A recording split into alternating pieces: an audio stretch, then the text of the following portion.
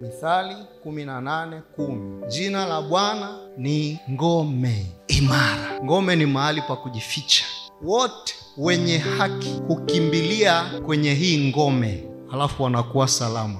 Kwa maana wengi utakuta ah, nikakuta nashambuliwa hivi, nasema nikasema kwa jina la Yesu akaniacha. Maana jina la Yesu ni ngome. Kila ukikimbilia kwa imani unafichwa hapo. Sikiliza, usiogope. Ukiona vita inainuka, unasema mbona?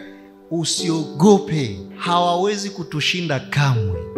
Shetani anaona ufalme wake, huwa wana tabia ya kuangaika na katika mipango yake yote ya kufanya, anajua hawezi kuwashinda watoto wa Mungu. Huwa anatengeneza mazingira ya kuwashambulia kwa hofu, awaletee hofu.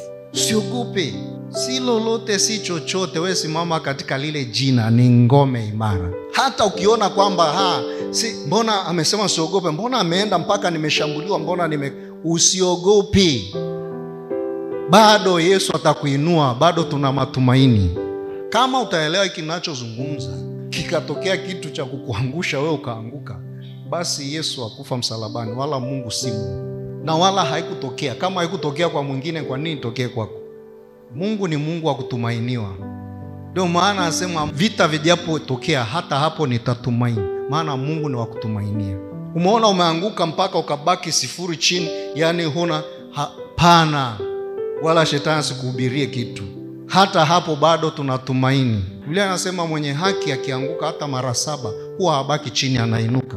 Vita vilitokea vingi kwa Ayubu, akapigwa na kila kitu alicho nacho, akapigwa mwili wake, akapigwa kila kitu kikaondoka, ndugu, marafiki, kila kitu kikakaa kinyume na yeye, lakini kuna kitu kimoja kilibaki kwake. Bara akasema ah, bado najua mteteaji wangu yuko hai tumaini lake likabaki imara. Mwisho Mungu akainua kila kitu, akitufundisha na sisi ya kwamba katika kute, kutembea kwa imani tutajaribiwa. Kama utajifunza kutembea katika majaribu ya kiimani, sahau kuhusu kufanikiwa kwa kiwango ambacho pengine Mungu anataka au kiwango ambacho hata shetani mwenyewe atatazama aseme, sasa mbona nimehangaika sana, nasema basi mi sitaki tena mbichi hizi, mi simtaki tena lakini kama unataka aendelee kukutamani, uendelea kulialia kwenye majaribu. Watu wengi shetani anawapenda sana, maana akiwajaribu kidogo anajua anawapata, si ndio? Wewe mtende shetani kitu ambacho akifikiri tena kuinua jaribu aseme mimi sitaki,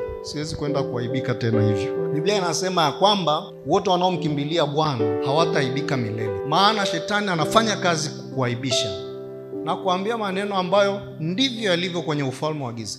Anataka kuaibishe ni kwenye familia, ni kwenye kumtumikia Mungu, ni kwenye uchumi, ni kwenye amani yako, ni kwenye kumtumikia Mungu. Yaani anataka kuaibisha, lakini wote wanaomkimbilia Bwana hawataaibika milele. Shetani yupo kabla wewe hujakuwepo, na sitaki kumsifia, lakini wewe bila Yesu, shetani anajua vitu vingi kuliko wewe. Sijui umenielewa? na usicheze na mtu ambaye anajua kuliko wewe. Anajua tu atakuchenga, si ndio? Unaweza ukaangaika hey, hey. lakini anajua kuliko wewe.